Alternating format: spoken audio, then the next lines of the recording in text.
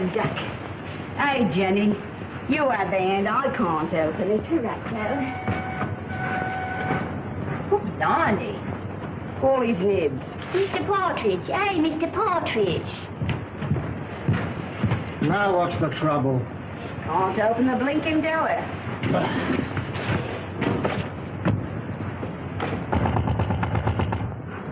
Come out.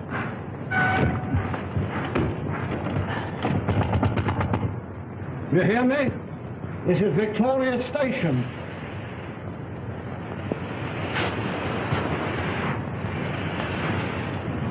Honey, Some drunk sleeping it off. Some gents traveling first class. Come on, Ed.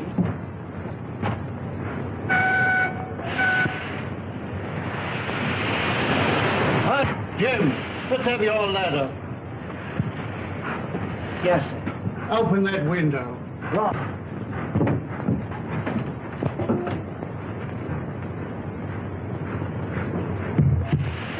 I can't budge it, Mr. Partridge. That is the word. You'll have to smash it then. Right. Oh! Mr. Partridge, there's... Oh, there's... There, there. Run for help. Fetch the police. Don't stand there gaping.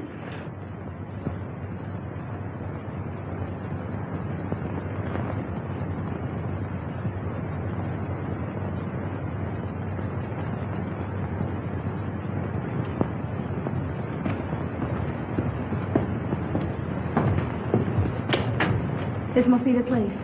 Yes. You'll have to wait here. But I'm not going to let you go in a place like this alone. You must really. I'll be all right.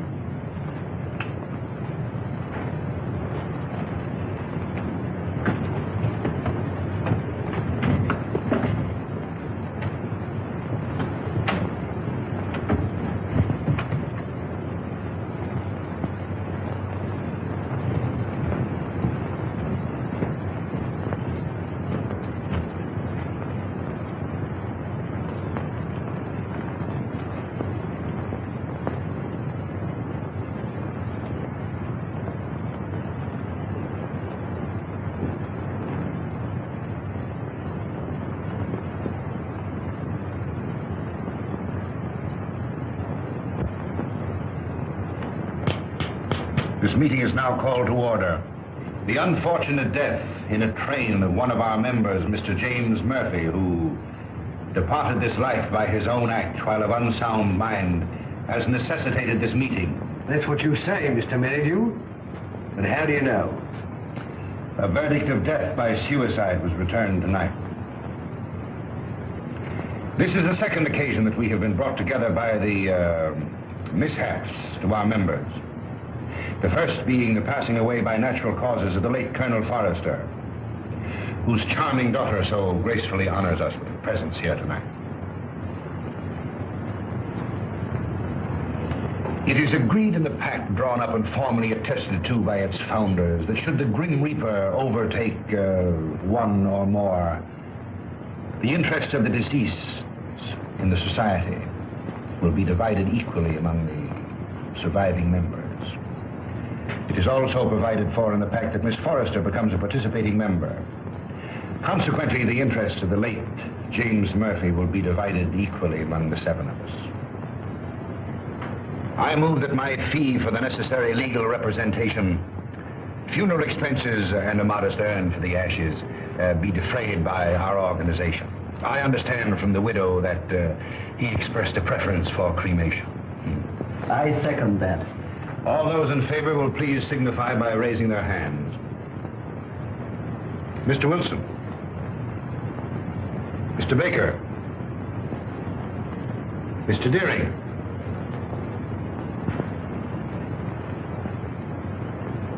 Mr. Pyke. Ah, yet?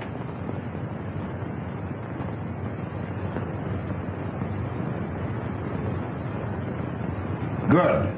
Has any provision been made for the widow? None. I presume that we could stretch a point in her favor. Emphatically no. Things are complicated enough as they are. Why did he want to kill himself? Have you ever met his wife? No. No? Well, I have. A pest if there ever was one. He can attribute his death solely to the general deficiencies of one Annabelle Mary Murphy.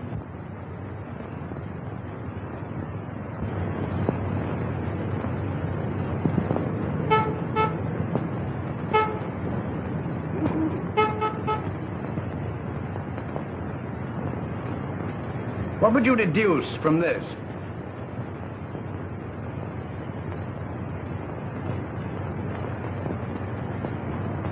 Obviously, an attempt to convey secret information. Could you decipher it? I could not, nor could you. Would you like to bet? Certainly. How much? Shilling. My time is too valuable. The answer will be found in a large book because the numbers are large. I'd suggest uh, the Bible.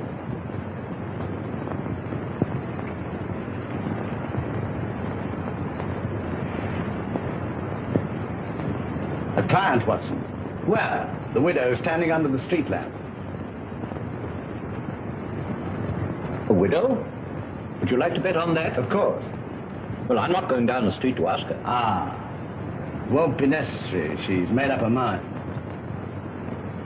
So you deduce at a distance, eh? Not in this case. I recognized her features. She's a Mrs. Murphy. Her husband was murdered three days ago. You mean the man that was found dead in a train? Exactly. Come in. Uh, Mrs. Murphy to see you, sir. Mr. Holmes, I'm in such a mess. Such a mess. My husband up and died without leaving me as much as a threepenny bit. It's a crying shame, Mr. Holmes. That's what it is. Sit down and try to compose yourself. Cut off without a farthing by an ungrateful good-for-nothing. Me, at my time of life. No dirty dog had a better wife. I've waited on him hand to mouth. Stood by his side morning, noon, and night. And what does the stinker do? He ups and kills himself and, and leaves his money to, to a trust. And Mr. Merrydew, yes. And there's another stinker if I never saw another. Won't even let me have a sixpence. He won't even let me have a halfpenny, Mr. Holmes. Thaddeus Merrydew, the lawyer. Yes, the thieving hound, the dirty rat. One moment. You were married how long? Five blessed long years. Previous to your marriage, your husband served in the army. You knew him? Of it. He got his discharge in China. Yes, that's right. Then you married. Yes, and I gave up everything, Mr. Holmes. You asked the proprietor of the Black Sow. He'll tell you. It was me that made that pub what it was. And your husband had money. Barrels of it. And when he wanted more, he used to come up to London and get it. It was that that took him to London when he killed himself. How do you know? Well, Jim comes into my room. I was in bed with a piece of cucumber rind round my head, trying to cure an headache. He had a letter in his hand. See here, uh, pig, he says.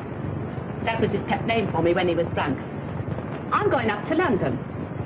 Did you read the contents of the letter? Oh, it wasn't no letter. It was just a piece of doggerel.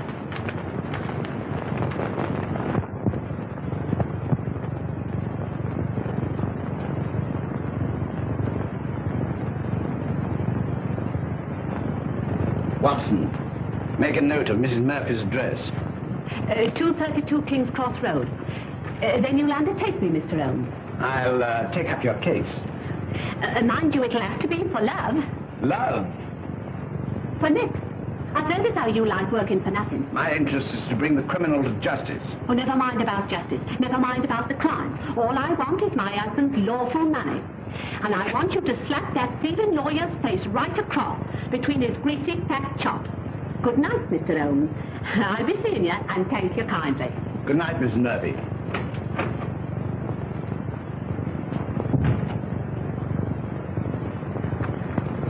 Deep water, Watson.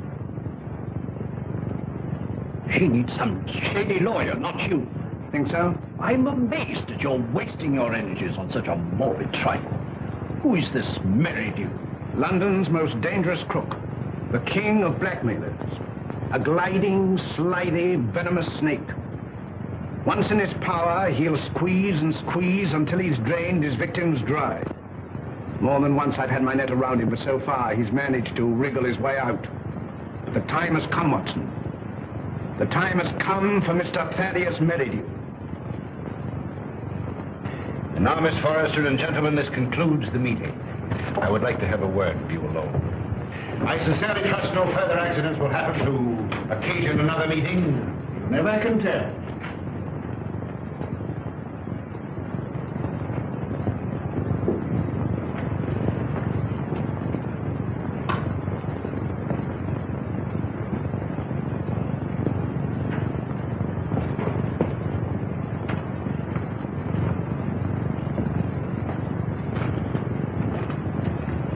Are you going my way? Which way do you go? I go the other. That leads to a dead end. That's the way I go. Good night, then. Good night.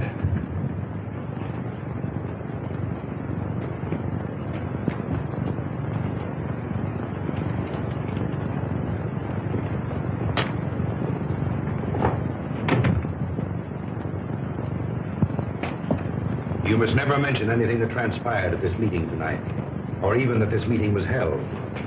I saw a young man standing on the corner as I came in. Yes, my fiancé. He brought me here and is waiting for me. Oh. Then you're thinking of being married. Yes. I wouldn't if I were you. That is, at least until you've consulted me. But why? I can't explain. In a short time, this society will no longer exist. Until its affairs are winded up, it would be most unwise for you to marry. Your father would not have wished it.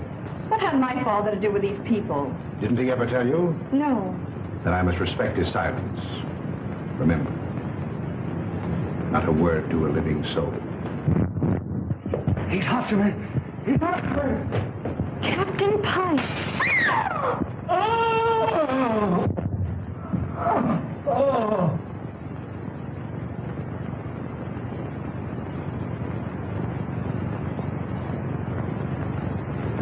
Dead, shot through the heart.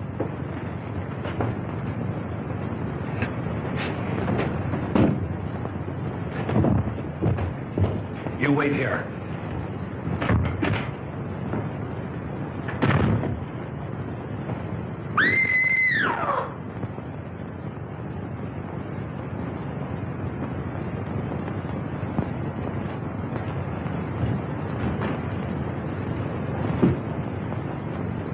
What is it? What's happened? Are you hurt? Someone. Look. It's disappeared. What does it mean? The murderer must have had an accomplice and removed the body. We must call the police. No, no, the police will be here soon enough. We mustn't become involved. But it's murder. As you respect your father's memory, you must preserve a strict silence. Not a word. Come.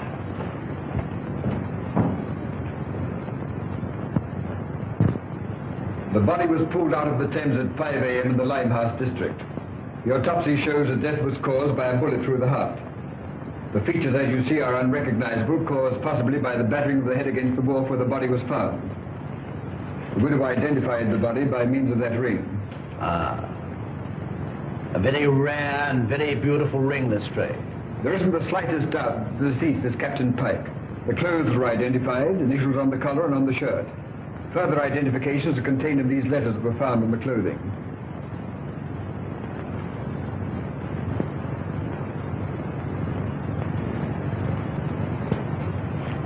Where is the widow? We ask her to wait. She's in the adjoining room.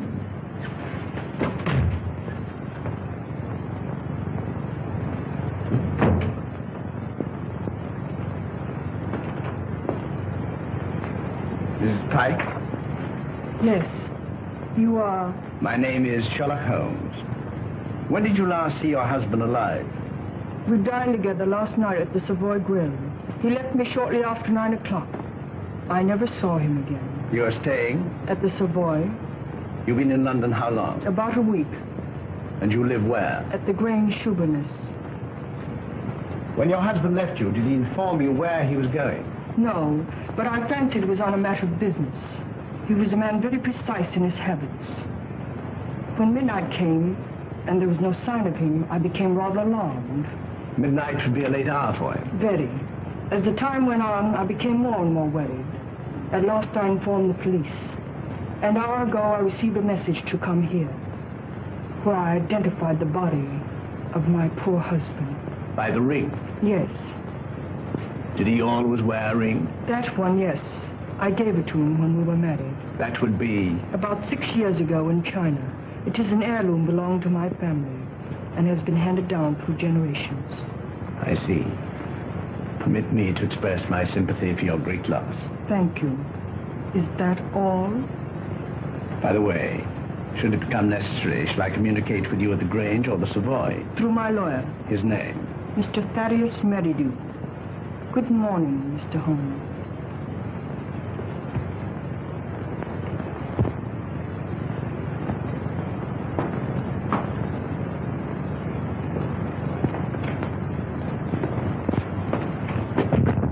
Well, what do you make of it? Murder, unquestionably. Is that all? That's all I have to say. What do you think? I think that the lady is a liar.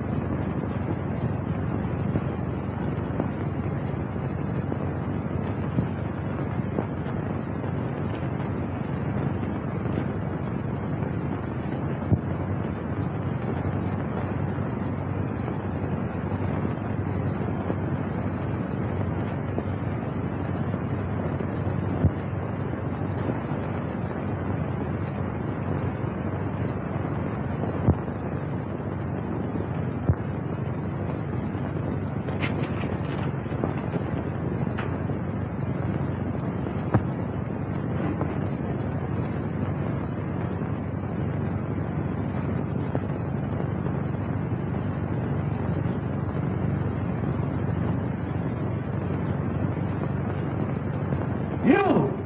It's not possible! What do you want with me?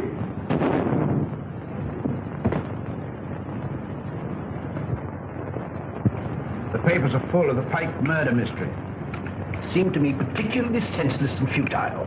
There was no motive. No motive. Peer deep down in the black heart of Thaddeus Merrydew and you'll find a motive. You don't mean to suggest that he had anything to do with it, do you? I suggest nothing. Come in. Inspector Lestrade to see you, sir. Mr. Holmes, Dr. Watson. What's the matter? You look worried. Worried I'm up to my neck. Again? Before I can begin to finish one case, I'm plunged into another. That's the penalty of being smart. You came to see me professionally. Well, unofficially. I see. Heads you win, tails I lose. There's been a bad business during the night. An old gentleman. You'll find it a bit of a puzzler. You mean you found it a bit of a puzzler? We've left everything in status quo, hoping you'll favor us with an opinion. Dead? Hmm? Murder? Suicide. Come, Watson. Game is afoot.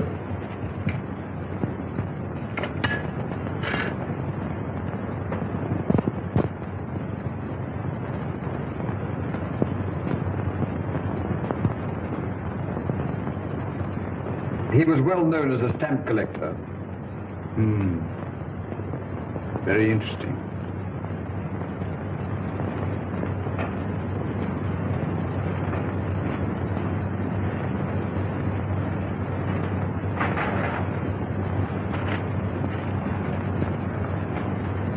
What is it, Holmes?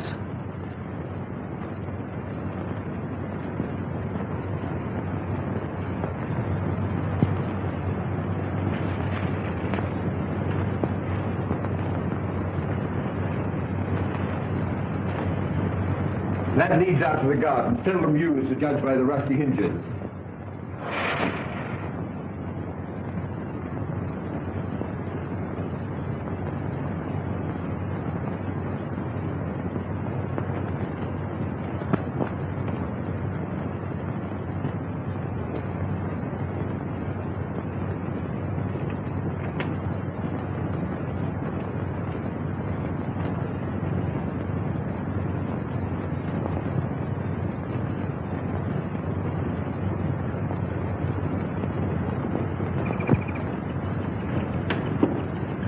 Good morning, Bert.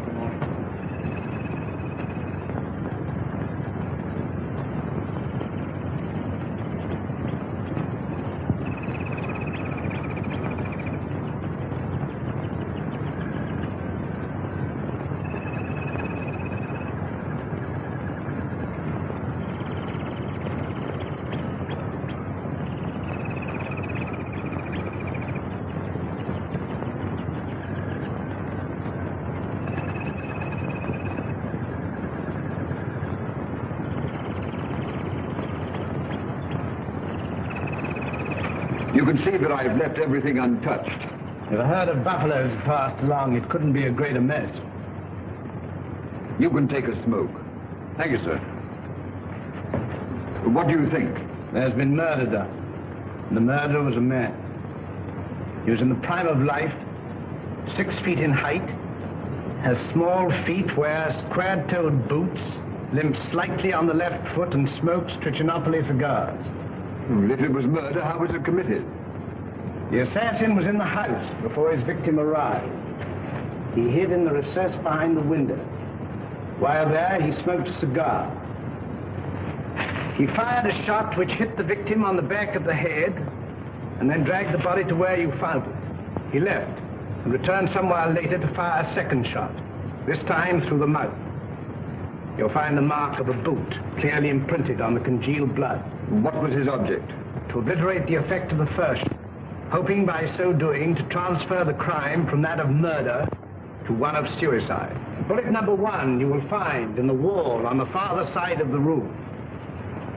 The other will be found embedded in the body of the murdered man. Come, Watson. We mustn't keep Mr. Merrydew waiting.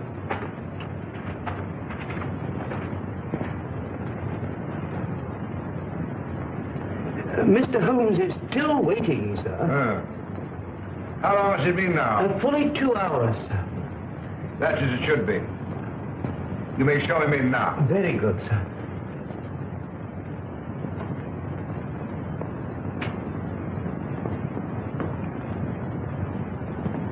Mr. Holmes, this is indeed a pleasure.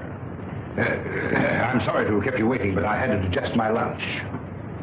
This is my friend and partner, Dr. Watson. How do you do? Glass of port, gentlemen? Thank you, no. Hmm.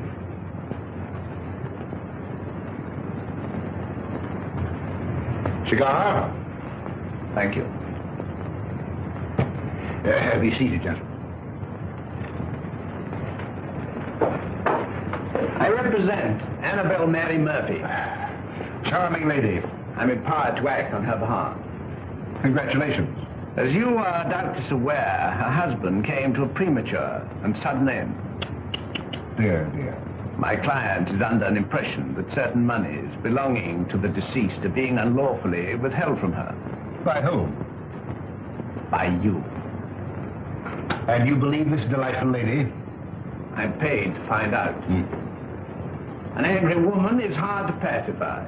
So I thought that an amicable discussion with you would put me in possession of certain facts with which I could prove to my client the absurdity of her claim. I see.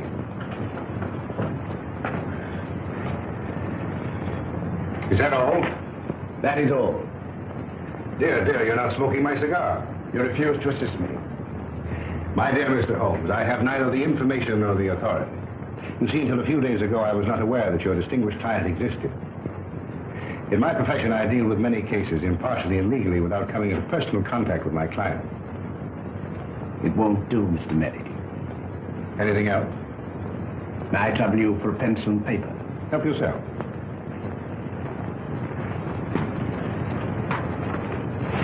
Mr. Busybody Holmes.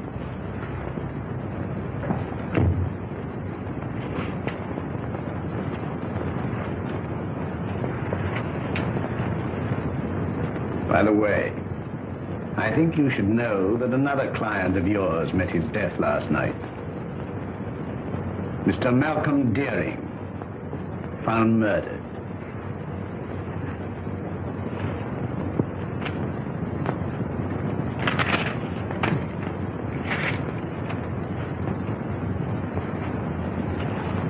Good day, Mr. Meredith.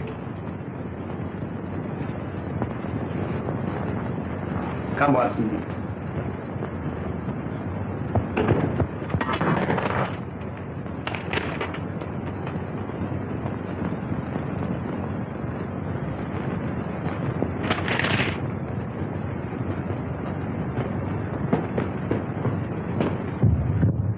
Cold-blooded monster. Well, I've given him something to think about. Did you see what I saw? His feet. What about it? But they were small feet. And the boots Well, well. were square-toed, square-toed. Really? Yes, and, and did you remark the brand of cigar? Cigar? Trichinopoly. It was stenciled in big letters on the top of the box. Is that all you observed? Was there anything else? A hundred things. Among them, the cipher to the code. A large book, Watson. I saw no Bible. Which will call Whitaker's Almanac a large. Yes, indeed. In that book will be found the message of the numbers.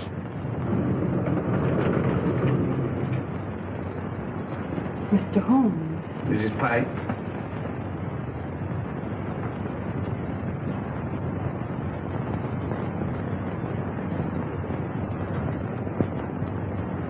Holmes, what did you write on that sheet of paper? A long shot in the dark, Watson, but it hit a bullseye.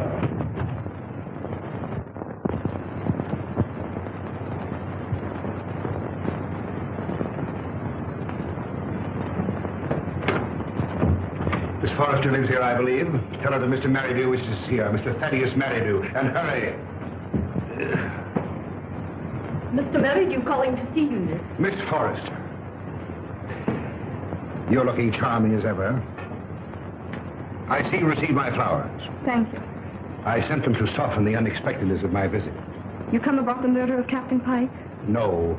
Have the police been pestering you? No. I was fortunate enough to keep your name out of it. Have you seen today's papers? Shocking. Shocking. Poor old gentleman. This is a very wicked world we're living in, Miss Forrester. Uh, this will necessitate another meeting. That's why I came myself to tell you. Safer. Too many eavesdroppers. Busybodies concerning themselves with other people's business. The same time, the same place, tomorrow night. Oh, please don't ask me to go to that dreadful place again. Well, unfortunately, in this case, I'm a servant, carrying out instructions. You've nothing to worry about. Not a thing. Not a thing in the world. Oh, this, this is my, uh, Mr. Stanford, Mr. Merrydew. Remember. I seem to see you every place. Uh,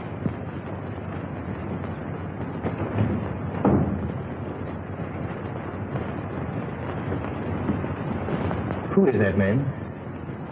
He's my lawyer. Oh. I remember seeing him the other night. But what's he doing here? Oh, please don't begin that all over again. But Eileen, surely I have a right to know.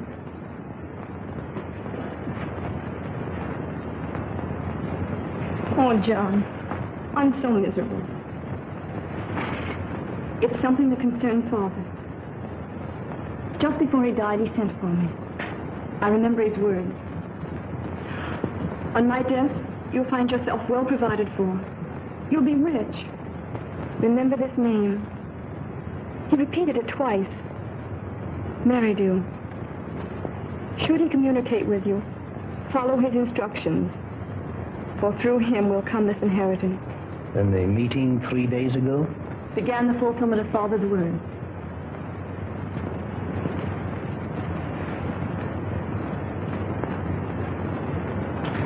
Think I'm beginning to understand.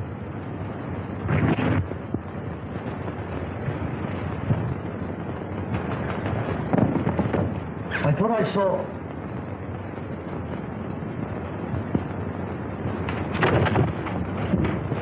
John! John!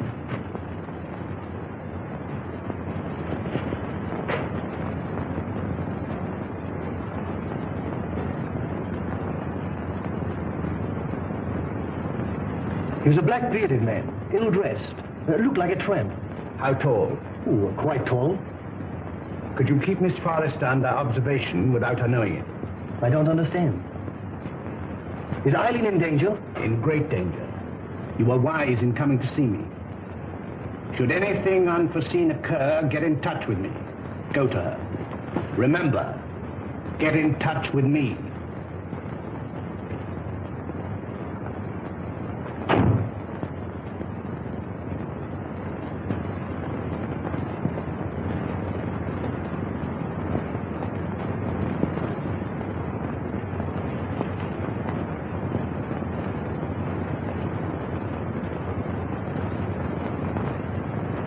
We are getting on, Watson. I'm glad to see you in a more cheerful mood.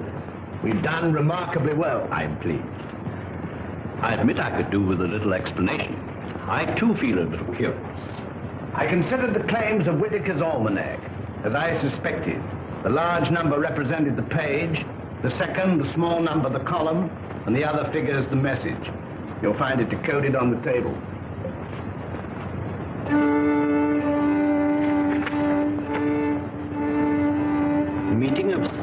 Ring, Tuesday, Nine Limehouse. M. Merrydew? Possibly. Tomorrow will appear in the personal column of the Daily Telegraph a second message, a request for information. Your message? My message. And the next step? The need of fresh air will take me in the country tomorrow. In the meantime, relaxation, music. I hope I won't bore you. Not if you make it soft.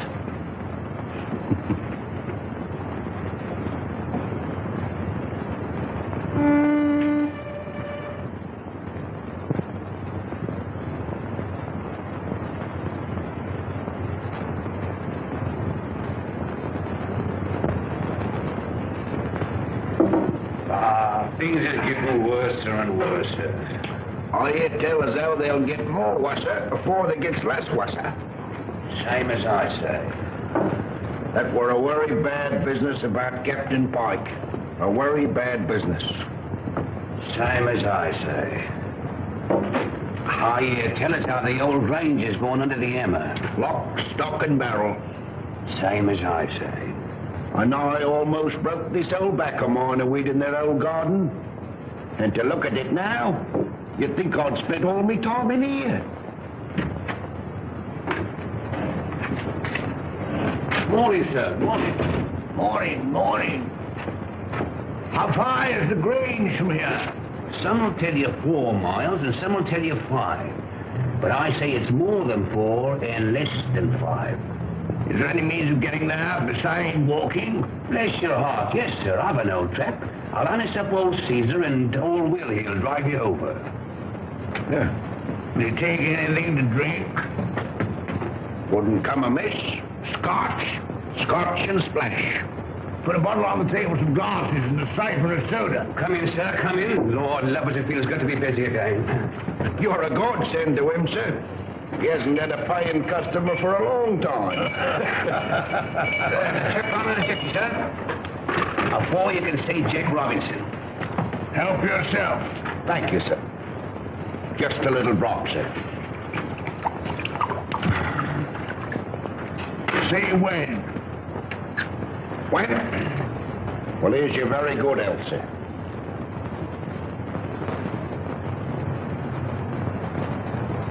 Oh, I feel like a new man, sir. Well, and now give the new man a drink. Righto, sir.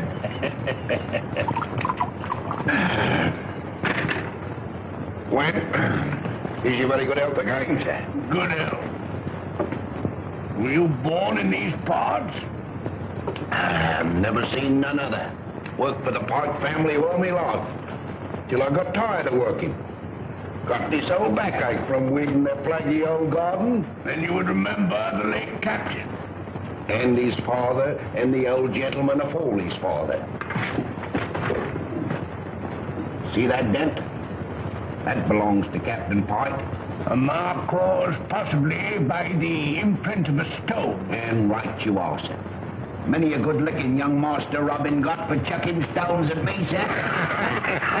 Sounds as though the young man was somewhat wild. Wild? He was a holy terror. Ready and waiting, sir. I've harnessed up old Caesar, and he's ready to go. You must tell me some more on the way over. Better bring the bottle. Righto, sir. Scotch is sure good for the backer. Steady, Caesar, steady. He's hard to handle when he's raring to go, sir. You were saying? You can't make English gentry out of the heathen Chinese now-how. Not in these parts. Very difficult, I imagine. When the captain was alive, did he stay here often? Until last Tuesday, we ain't seen nothing on him till close nigh on to two years. Shall we uh, have one, sir? You take two. right, that's it.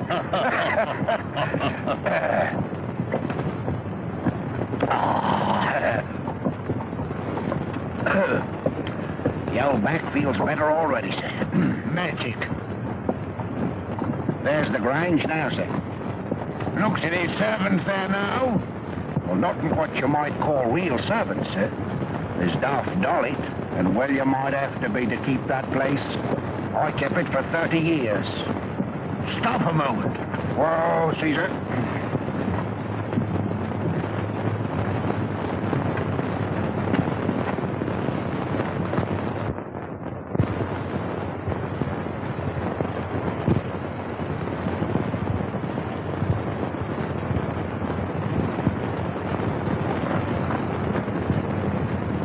I'll walk the rest of the way. I'm in a hurry. Wait here for me. I won't budge an inch.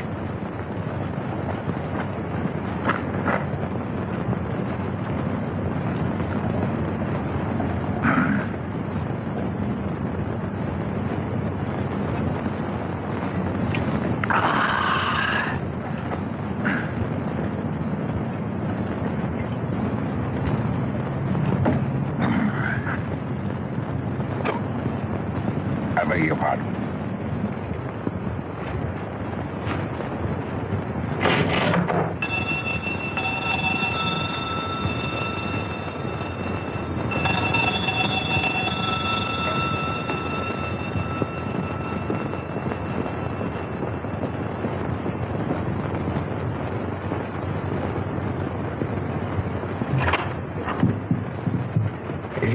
In? No, sir. Where is she?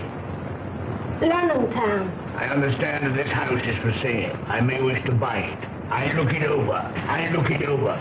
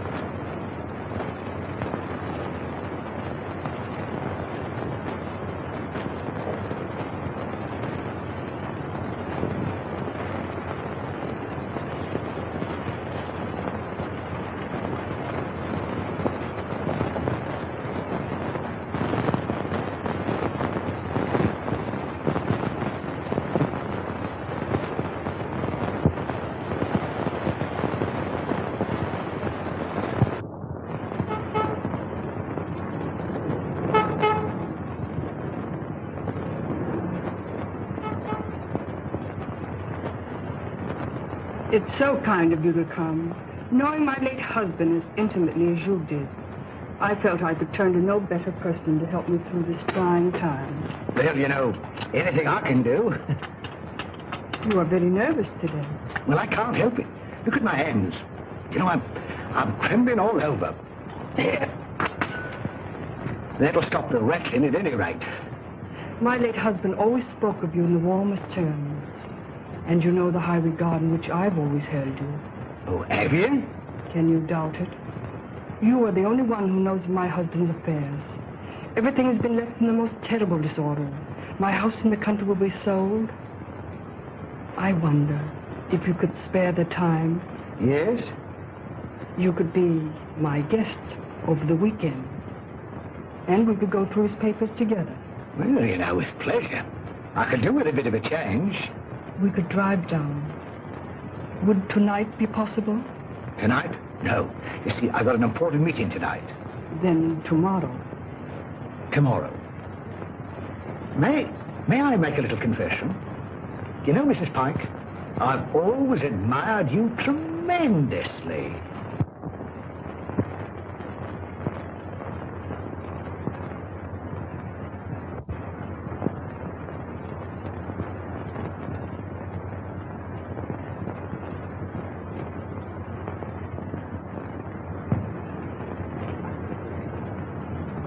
Who's that? Baker.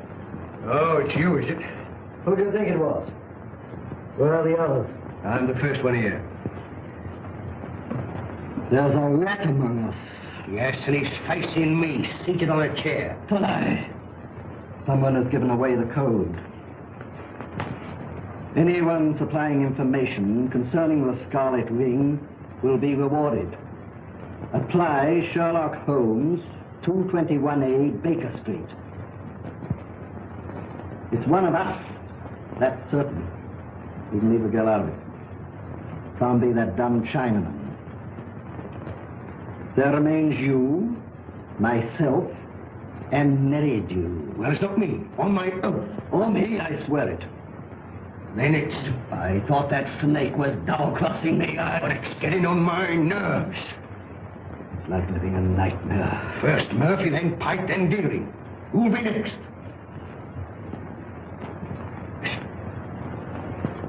Suppose someone was to supply information to Sherlock Holmes. Then it would all come out. No, no, Holmes is different from the police.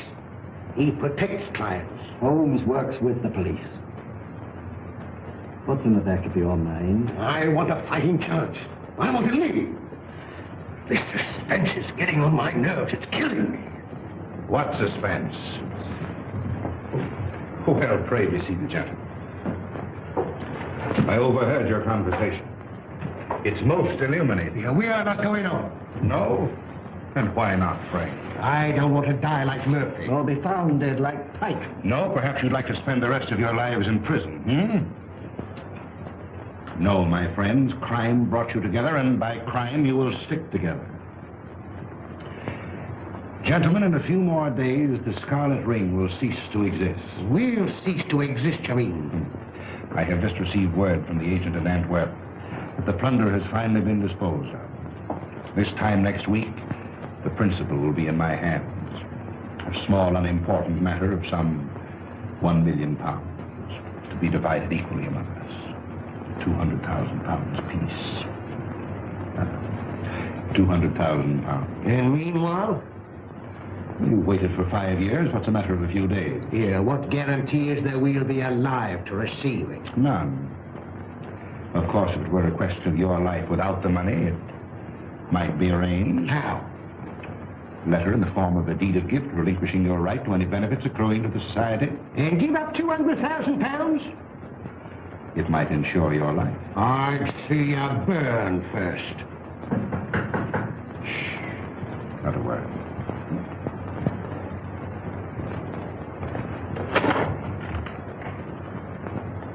Well, Miss Forrester, this is a pleasure. Come in.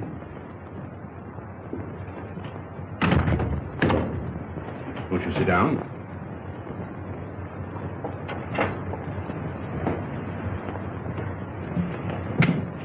Uh, uh,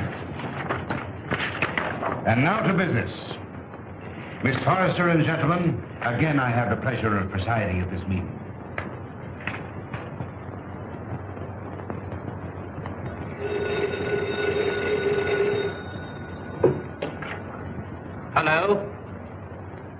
One moment. Uh, Mr. Stanford.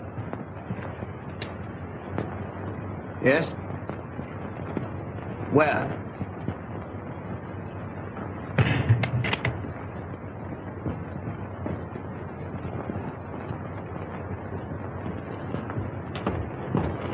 Oh, thank heaven you come. I followed her here and phoned you immediately. Uh, She went into the side door.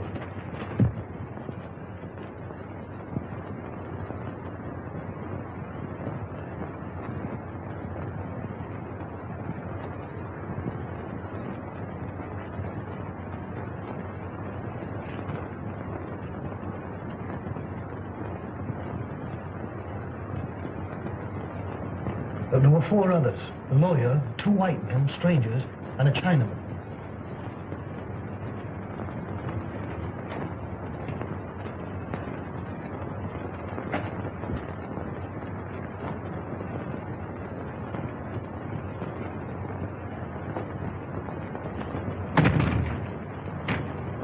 When it comes, it won't come from the sky. Oh, shut up. Oh? I'm on fire. Life's worth more to me than money. Yours may be. Mine isn't. Shall we walk to the station together? No, no, you go ahead.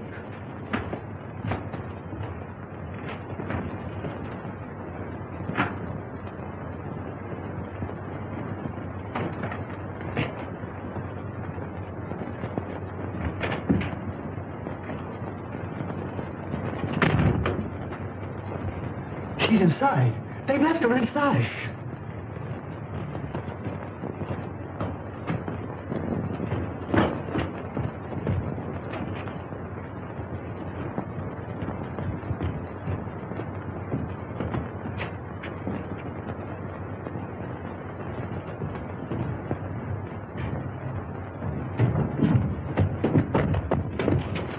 Gas! Quick, the door! Hiding! Oh, get in the fresh air!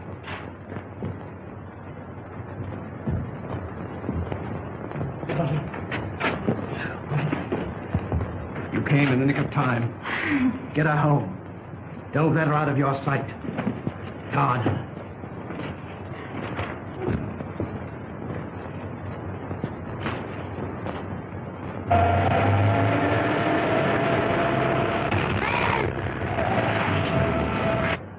I'm asking you, save me! Save me! Speaking as a medical man, it is extremely dangerous to run at your age and with your wit. Could I, could I have a glass of water, please? Sit down. Oh, no. Oh. Thank you. I must apologize for bursting in like this, Mr. Holmes. I'm Dr. Watson. I don't know when Mr. Holmes will be back. Please wait. Thank you.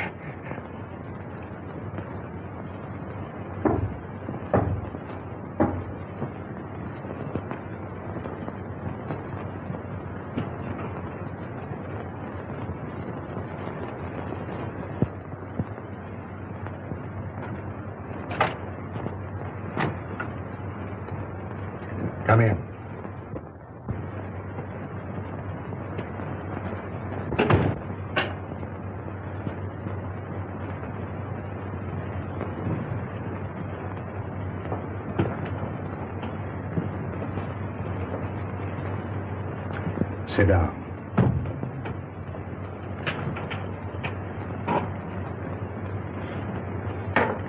Cigarette?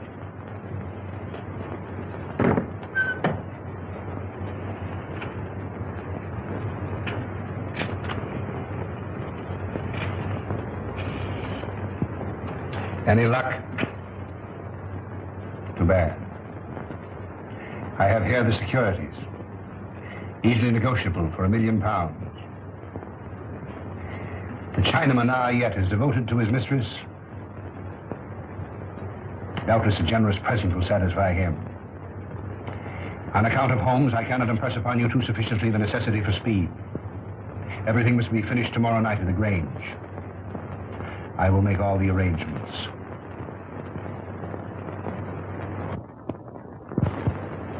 You've got to help me, Mr. Holmes.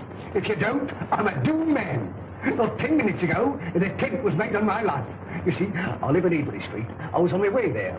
I was about to cross the road, and some instinct made me leap back. And as I did, a car, driven with terrific speed and coming on the wrong side of the road, whizzed by me. How I escaped was a miracle. Did you find a chance see the occupant of the car? Yes, as it flashed by me, I caught a glimpse of the driver, a black-bearded man. Is there anyone who would benefit by your death? Yes, four persons. You see, Mr. Holmes, there's a, an estate to be settled up. And if I should go out, well, they get my share. Is any one of them capable of committing a crime? Yes, three of them. How much is your share of this estate? Two hundred thousand pounds. Naturally, you would wish to live to enjoy it. When were you in China last? I was never in China. Come, come, sir. Then the tattooing above the right wrist? Oh, that, that was done in England. You must be mistaken. That particular yellow is to be found only in China. What made you come to me? Well, you see, Mr. Holmes, I... Well, I'd heard of your reputation. How did you know my address? Aren't you here in answer to my advertisement? Were you not returning from Limehouse? Are you not a member of the Scarlet Ring? Is it not a fact that three of your members have met with very sudden ends and you're terrified lest their fate befall you? Why, you must be the devil himself. Answer me. Yes, Mr. Holmes, but I'm helpless. I'm up against some power that no precaution can guard against. Go straight home and lock yourself in your house. But it's very old and easily broken into. You a cellar. Bomb-proof. Hide there. On second thought, we'll see you to Ebury Street. Take a revolver, Watson. Mr. Holmes, do you think there's any hope? Obey my instructions implicitly, and I can promise you almost a chance. Tomorrow, leave town. You see, Mr. Holmes, I had intended that. You see, I know a little place in the country that is secluded, miles away from any place. It belongs to the widow of an acquaintance of mine. The lady is an Oriental, an Asiatic. As a matter of fact, she's Chinese. Mrs. Pyke, when you arrive at the Grange near Shoeburyness, you'll probably be given the room next to the ladies. You'll find a door connecting the two rooms. Keep it locked. Arrive there neither before nor later than nine o'clock. On your arrival, headache. Pretend one? Oh, Mr. Holmes. Go straight to your room. If you value your life, don't open the door.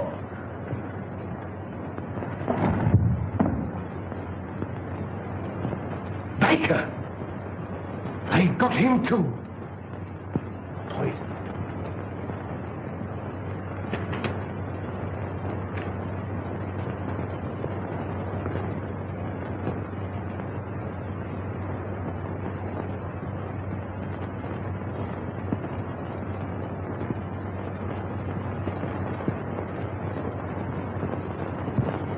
Why, dear, says he, for me. And that's the last I seed of him. A regular queerin, free with his money, same as I say. He must have been a pickle when he was a lad. Dolly ran all the way to fetch Dr. Smallwood. And she and Smallwood now burst a blood vessel trying to get to him.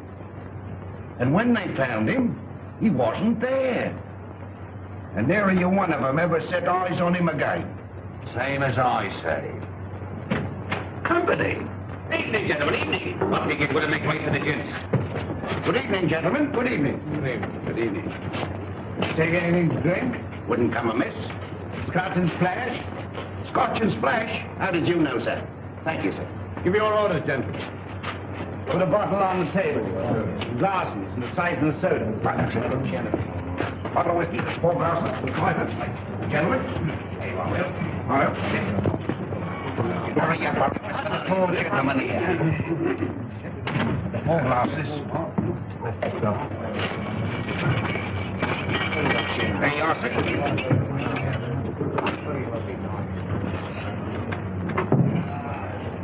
What brings you gentlemen round these here parts? This friend of mine belongs to the medical profession. A patient of his has escaped, an old gentleman of very dangerous character. That's the reason for all these wardings. An old gentleman? Wearing a cape? Stoops a bit? Big in the belly? You've seen him? Have I seen him? Yes, sir. And Dolly at the Grange seen him. And Dr. Smallwood ought to seen him, but he never set eyes on him. As sure as I'm standing here, sir. He sat right there. It, it was the day before yesterday. Doctor, we're on the right scent. Say when. When?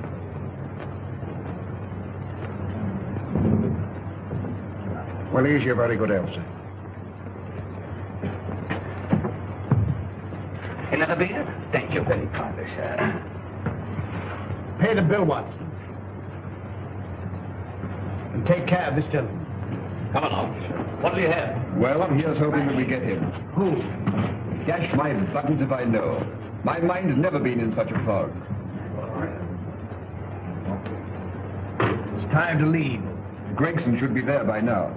We'll have the Grange so well surrounded a cat couldn't get through without being seen. Come along, men.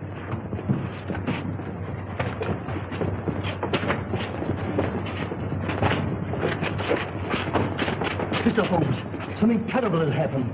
Miss Forrester has disappeared. Disappeared, but I told you to guard her. But I couldn't understand your telegram. Telegram? What telegram? Instructing me to meet you at Dover. Are you mad? I, I don't know. I'm almost insane with worry. Go on. Well, I arrived at Dover and suspected it was a hoax. I turned to London immediately. Fortunately, I have a racing car. Arriving there, I went straight to Eileen's house. She'd gone. I, uh, May told me that she left in the early afternoon with a strange woman. A Chinese woman? Yes. I called you, but you left. When I gave my name to your housekeeper, she told me where I could locate you. Oh, Mr. Holmes, what could have happened? Or where could she be? Come, Lestrade. There's not a moment to lose.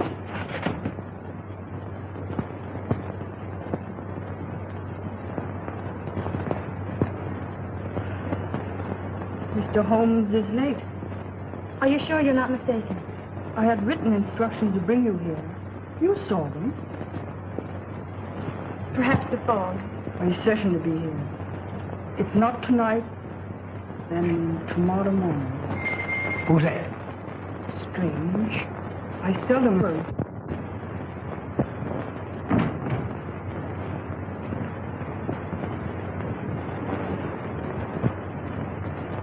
Stop! You open the door, and I'll choke the life out of you. Mr. Wilson, have you lost your reason? Tell him if he opens the door, he'll never live to open another. One to the left.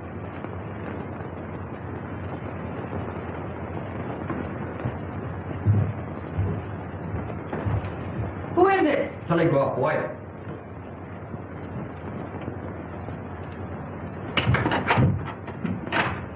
Telegram for Miss Forrester. I'll give it to her. On.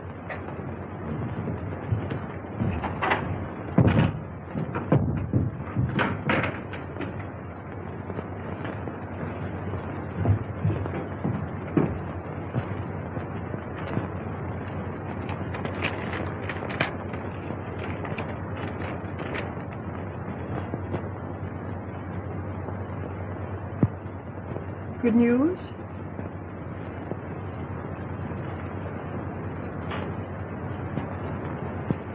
Excuse me. Hey, what is it? What is it? What does it mean? Here, I'm going to bed. Miss Forrester, when you go to your room, lock your door. Shh. And keep it locked.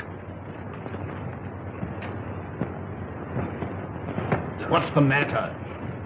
I'm rather chilly. Who's that? It's me, sir. Did you deliver the telegram? Yes, sir. To Miss Forrester herself? I give it to one lady to give to the other, sir. Thank you. Good night. Good night, sir. You let me go to her. Wait. I'll never do it again. What? Stand about all night without a flask. Look, Holmes, over there. Drop your gun. Well, Inspector? I've checked up on all points. No one could have slipped through. Good night, my dear. My bedroom is just across the corridor. If you should want me for anything, don't hesitate to call me. Thank you.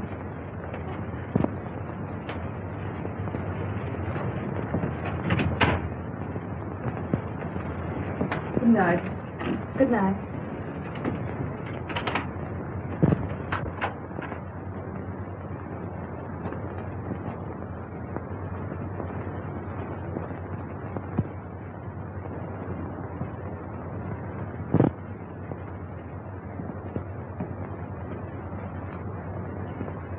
Mr. Wilson, are you in bed?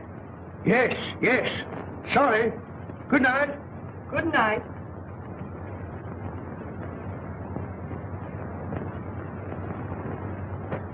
Who's that?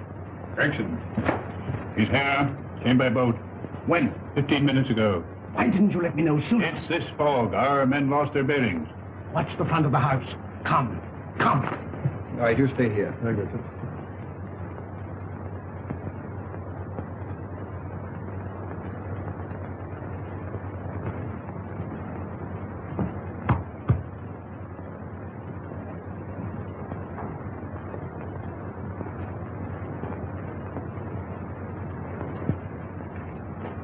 I thought you would never come. To This cursed park. Where's the girl? At the end of the corridor. Good. Wilson, He's locked his door. get him out. Offering any inducement.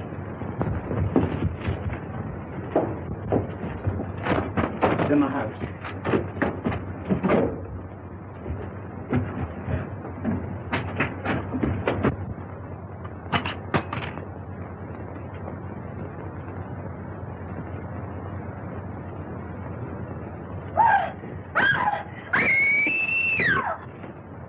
It's Eileen. That's Eileen. Mr. Wilson! Quick! Miss Forrester! Something terrible has happened!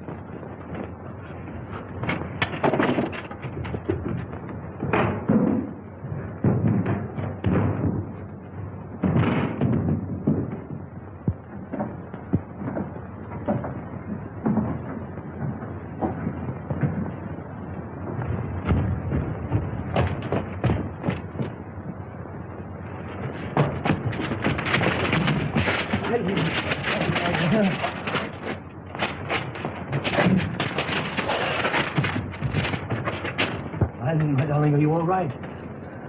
Help! Murder! Help! Break it down. Help! Help! Holmes! Holmes! Holmes! Are you all right? Quite all right. Thank you, Watson. Take them downstairs.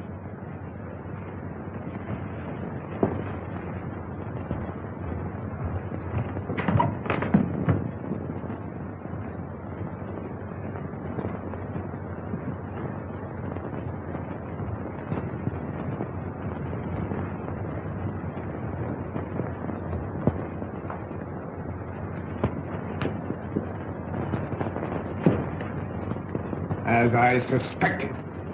Captain Pyke.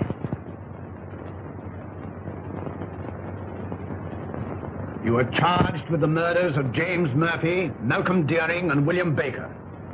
And this woman? As an accomplice. Take him away.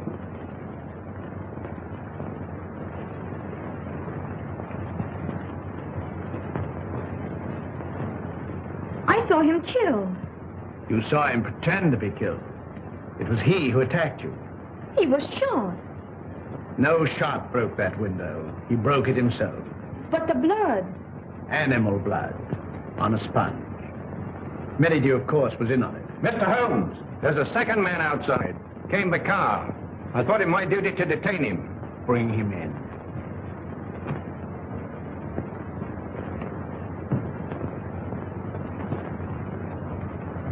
Well, well, well, Mr. Holmes. This is indeed a surprise. What are you doing here? Well, surely a man has a right to visit his own house. I own the mortgage on this place.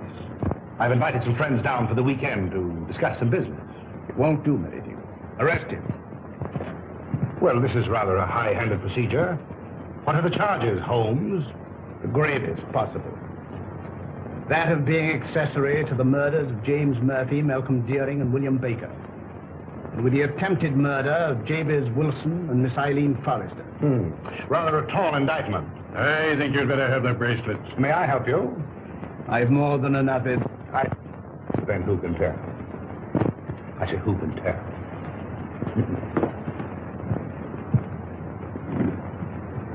This will make promotion, Lestrade. I'm very grateful to you, Mr. Holmes. But how you did it beats me. Simple enough. Simple. Simple. By the examination of the footsteps in the garden of Mr. Dearing's house, I'm probably certain of the murderer's description. You'll remember the ring. There was no mark to indicate that it had remained on that finger for a period of six years as stated by his mistress. His wife, you Mistress Watson. Mistress. Well, you ought to know. And the scarlet ring? Perhaps you'll remember the disappearance of the mandarin's gems in China some years ago. Perfectly. To realize on gems of international repute would be a ticklish matter? Hmm, very. That had to be broken up piece by piece and then disposed of carefully and slowly. Exactly. The Scarlet Ring was formed by the instigators of the original crime to protect the receiving end. And what was Pyke's motive? Green. The last survivor would become the recipient of the entire booty. I think it will be found that Pyke was the original ringleader. But Mr. Wilson could furnish us with an answer to that. Not one word. We shall never forget you, Mr. Holmes. Rather not, sir. You must invite me to the wedding. Perhaps you'll give me a wedding. I appreciate the compliment, but I never give a lady away, except I am professional. Come, Doctor. They'll send you when they need you.